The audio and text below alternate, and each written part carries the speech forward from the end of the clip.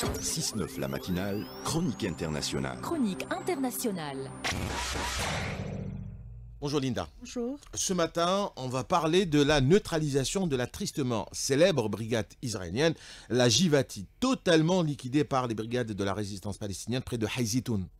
Liquider tout un bataillon de la brigade Jivati relève de la prouesse militaire, un exploit inimaginable il y a quelques années. Il faut dire que la sinistre brigade Jivati s'est rendue célèbre par ses entorses aux pratiques militaires. Ses chefs sont des officiers qui n'hésitent pas à achever les blessés ennemis et même leurs propres blessés quand ils sont contraints de battre en retraite. Cette force d'infanterie a toujours euh, stationné à la frontière de Reza, où elle est en charge de la lutte contre les brigades de la résistance palestinienne. Une résistance euh, qui comprend non seulement les brigades d'Al-Qassam, mais également les brigades des martyrs d'Al-Aqsa, dépendantes du Fatah, celles des Saraya al-Quds appartenant au djihad islamique, celles des combattants du Front populaire de libération de la Palestine, communément appelées les brigades d'Abu Ali Mustafa et les brigades Nasr al-Din Salah din sous le commandement des comités de libération populaire.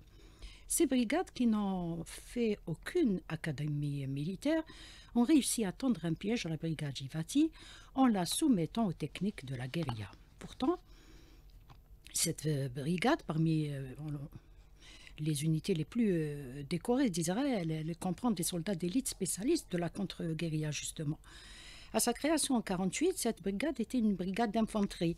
Elle est démantelée en 1956, puis rétablie en 1983. Et en 2000, elle mène une série d'opérations au cours desquelles des centaines de ses soldats ont été tués par les brigades de Qassam et de Sarah el-Quds. C'était là le premier revers face à l'armée des résistants de Rassa. Cette fois, elles viennent de subir une véritable raclée par les brigades de la résistance, une résistance plus entraînée qui fabrique elle-même son armement, armement qui s'est avéré très concluant sur le terrain. C'est tout le bataillon Givati qui a été décimé cette fois. Son problème, c'est de n'avoir pas pu contourner un adversaire asymétrique, caché dans un environnement qu'il connaît au centimètre près. Dans cette fameuse opération de la résistance contre la brigade Givati, les combattants se sont surpassés en technique de guérilla.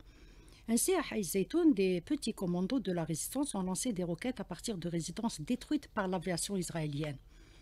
La brigade Jivati, qu'est-ce qu'elle fait? Elle s'avance aussitôt vers la plateforme de lancement, d'où le premier commando a déjà disparu.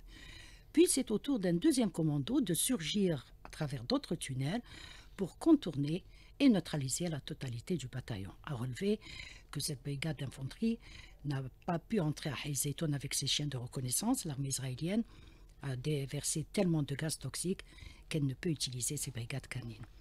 La Givati s'est donc retrouvée complètement bloquée près des maisons abandonnées bourrées d'explosifs et sous le feu de la résistance palestinienne. Voilà comment la brigade Givati, qui se fait appeler la brigade des renards de Samson, s'en est allée s'enferrer à Reza, où ces illustres renards se sont fait tirer comme des lapins.